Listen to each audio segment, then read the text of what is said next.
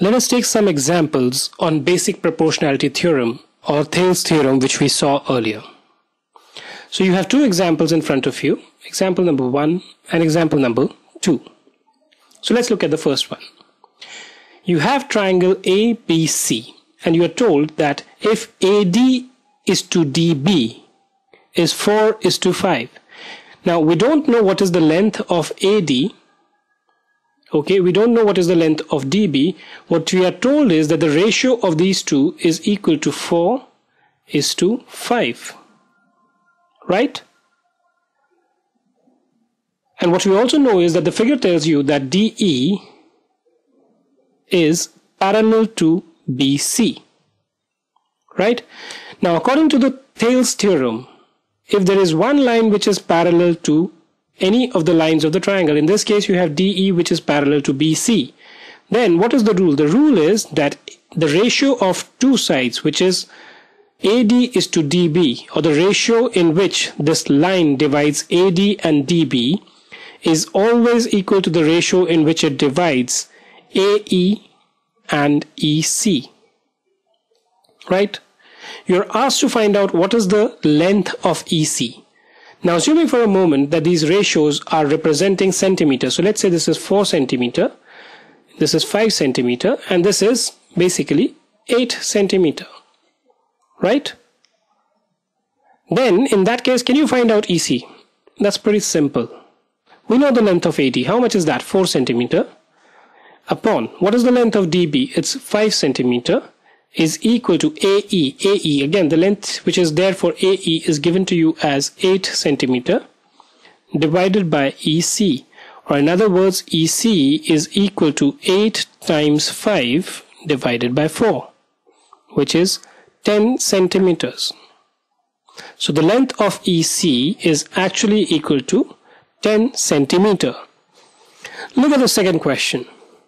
Here also you have triangle ABC you are given that ED is parallel to BC, right? ED is parallel to BC.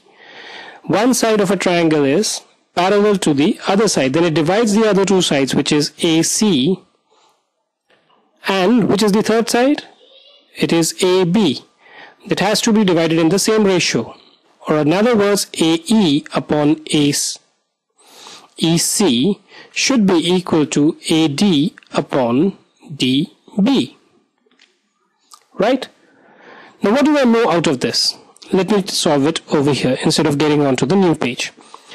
The ratio of AD is to DB, which is these two, is 5 is to 7. Right? Let's assume for a moment that this is 5 centimeter and 7 centimeter. So 5 centimeter divided by 7 centimeter is equal to AE upon EC.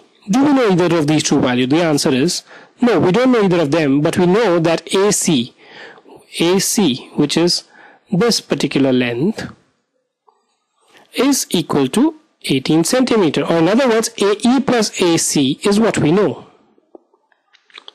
Right? So for a moment, if let's say I say AE plus EC is equal to 18 centimeter, can I say that AE is equal to 18 minus EC? Right? And what I do here is I just put in something like this 18 centimeter minus EC. So what I did was instead of AE I have replaced it over divided by EC. Right? If I solve this equation I would get 5 times EC is equal to 18 times 7. This is becoming a little clumsy. Let's solve it on the next page. I'll just take it down.